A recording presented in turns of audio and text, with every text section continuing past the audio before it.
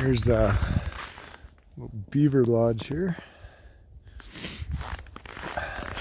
This guy's been chomping on a lot of the stakes that we planted this this fall, fall 2020. It's now uh, winter 2021.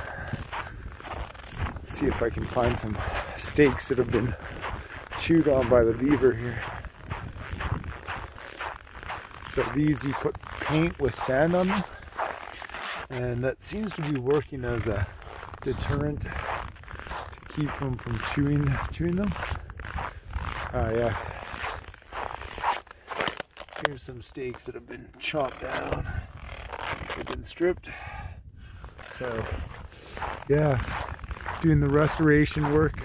Uh, the beavers somewhat changing the scope of the work.